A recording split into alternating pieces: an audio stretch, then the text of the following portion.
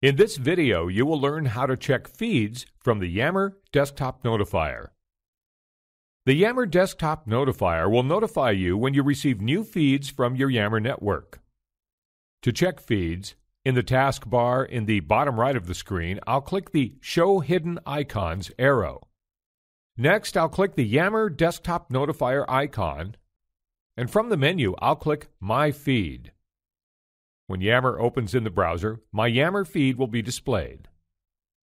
In this video, you've learned how to check feeds from the Yammer Desktop Notifier.